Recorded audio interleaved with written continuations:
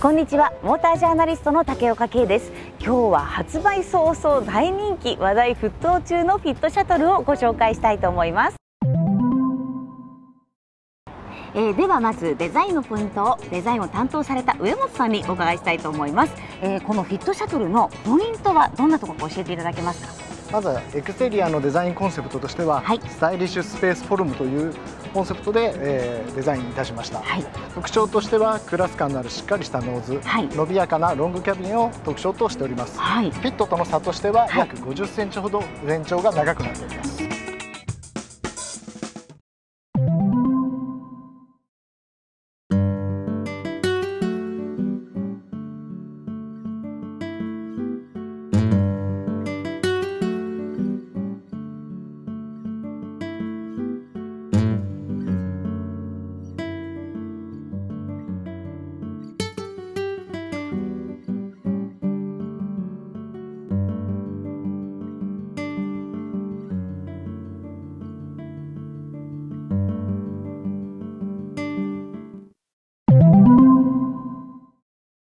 フィットシャトルは、えー、ラゲッジにすごく秘密がたくさんあるということでちょっとこのですね秘密を教えていただきたいんですけど。そうですね。普通の生活において買い物といった時にそんなに大きくない荷物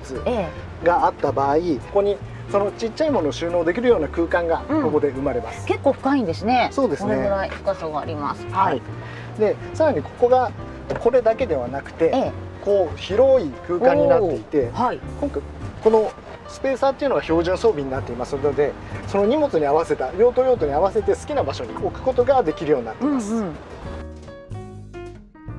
やなんかすっごく便利そうなんですけどこのどっちにも曲げられちゃうどっちも同じ動きができるっていうこのヒンジが世界初なんですよね。そうですね。このダブルヒンジっていうのが今回世界初の、はい、えー、提案になっておりますこれはあのなんでこういうふうなことを考えたんですか？やはりワゴンとしてスマートな荷室っていうので肝部分さらにはアクティブに使っていただくお客様に向けてこのワイパブル面っていうのを出していった時に、はい、両方のお客様にこの便利なテンタータンクならではのこの空間を使っていただきたく思い、はい、両方とも使えるっていうのでダブルヒンジを今回提案させていただきました。要はリバーシブルで使えるということですね。はい、わ、はい、かりました、ありがとうございます。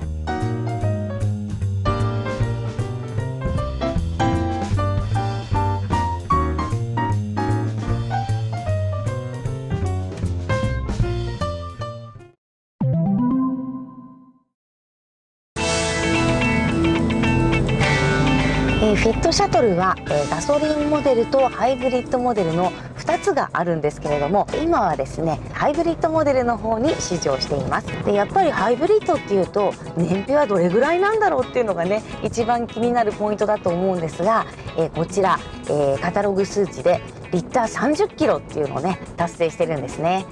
でこのリッター30キロっていうのは、え、フィットのハイブリッドと同じなんですけれども、え、そのフィットのハイブリッドに比べるとこれフィットシャトルのハイブリッドというのは一回りボディの大きさも大きいですし大きい分ちょっとこう重くもなってるんですね。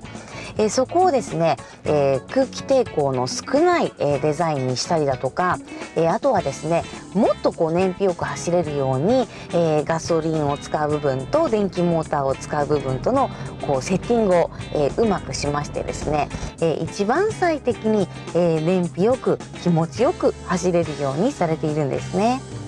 これだけですね重心高が低くてどしっとした感じがあればまだあんまり高速慣れてないんですっていうような方でも安心して乗れる相棒となってくれるんじゃないかと思いますよ。みんなのおなじみのフィットのちょっとお兄さん的存在のフィットシャトルもういろいろからくり仕掛けがいっぱいでスペースも広くてなんか海に行ったら楽しそうだなバーベキュー行っても面白そうだないろんなライフスタイルのこう夢がね広がってくる一台でした。